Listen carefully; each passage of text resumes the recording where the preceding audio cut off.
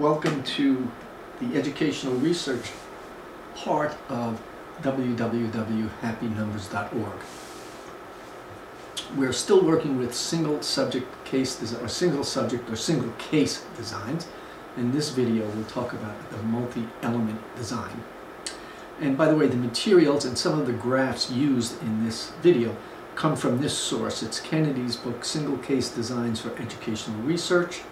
Allyn and Bacon are the publisher. Chapter 10, here are the page numbers, and here is the ISBN number. Again, I'm not in the business of uh, promoting textbooks or selling textbooks or anything like that. I'm just presenting where this information comes from. However, if you are looking for a very, very good text on single case designs, this is a very good one. All right, let's take a look at the multi-element design.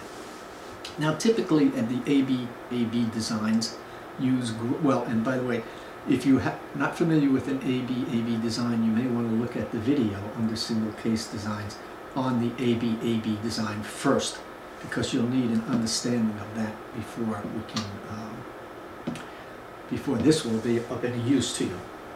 But typically the AB-AB designs use gradual alternating between the A, or baseline condition, and B, intervention condition. And that's how they establish experimental control, alternating, presenting a baseline, then presenting an intervention, then withdrawing the intervention, going back to baseline, and then the intervention again.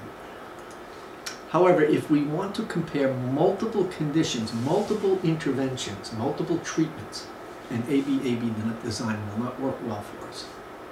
But a multi-element design can make this multiple comparisons feasible. Multi-element designs alternate between conditions or interventions or independent variables or treatments. The interventions are alternated back and forth as a means of demonstrating experimental control and experimental control relies on response differentiation.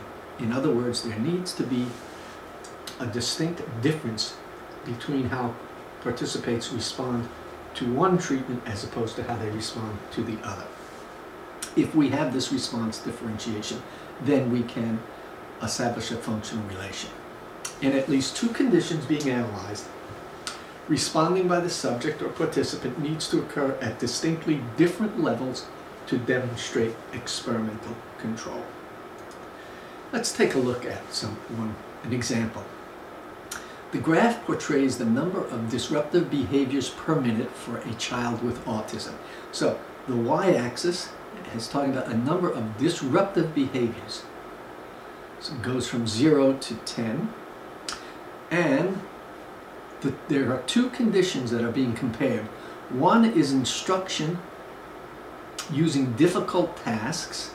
So instruction, asking the student to perform difficult tasks, and instruction, marked by the uh, solid black circle, uh, instruction where there are easy tasks.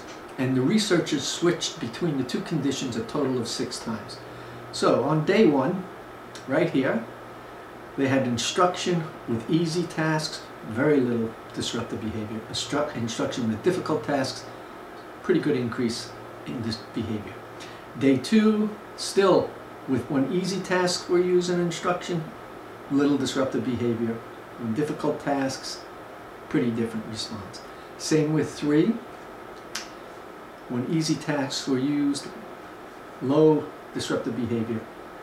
And when difficult tasks, instruction or difficult tasks were used, much more disruptive behavior. So we can see from this graph, if we are comparing the two interventions, instructions with easy tasks and instructions with difficult tasks, and our dependent variable is the number of disruptive behaviors, we can see that instruction with, that uses easy tasks decreases disruptive behavior, and instruction that uses difficult tasks increases. So we compared two independent variables, two types of instruction, one difficult tasks, one using easy tasks, and, it's, and we have a response differentiation.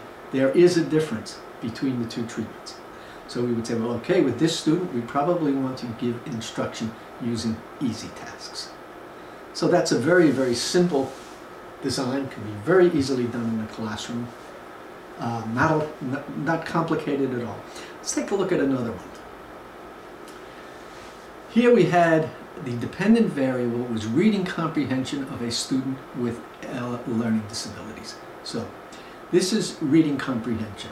I guess maybe let's say the number of problems they got right on the reading comprehension. It goes from 0 to 10. There were three conditions. The first condition, represented by the round circle here, was self-questioning required students to answer a set of prescribed questions after reading a passage. So one condition that they used, or one treatment to increase reading comprehension was a thing they called self-questioning, where they required students to answer a set of prescribed questions after reading a passage. And we can see that graph here. This is the responses. So students seemed to comprehend pretty well when they were using self-questioning, or this student. The second one, which is the upside down triangle, was story mapping. The second condition, story mapping, had students draw a graphic representation of what they had just read in the passage. So in the second condition, they had students make a graphic representation of the passage they read and then answered questions and that graph looks like this. Somewhat similar to, but a little, there's some response differentiation here because the uh, self-questioning is um, higher almost in all cases except in this one particular one. And then the third condition, here they had three interventions that they used, was that there was no intervention. It just required students to read the passage with no supplemental aids, and that's represented by this graph here with the squares.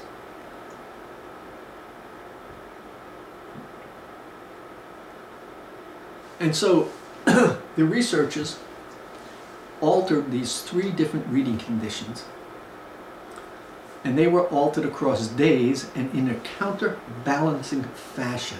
So day one, they did no intervention.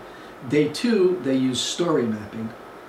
Day three, they used self-questioning. Day four, they used self-questioning. Day five, story mapping. Day six, no intervention. So they just counterbalanced it back and forth.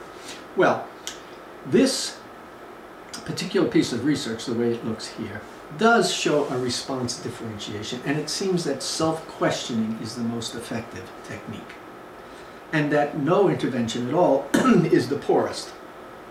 So there's experimental control or function relationship, functional relation has been established here between self-questioning and reading comprehension of a student with learning disabilities. It seems that the self-questioning strategy, the self-questioning intervention, was the most effective. So that's it. That's a very simple multi-element design. Again, very usable in classrooms. Now, there are limitations of the multi-element design. One limitation is behavioral reversibility. If a change in behavior produced by an independent variable cannot be reversed by the withdrawal of the intervention, then the multi-element designs are inappropriate because the, the student is not going to unlearn anything. And there may be potential interaction effects. If in that last example, students were getting um, three different interventions to increase reading comprehension, there may be a cumulative effect of those interventions, so that may present a threat to internal validity.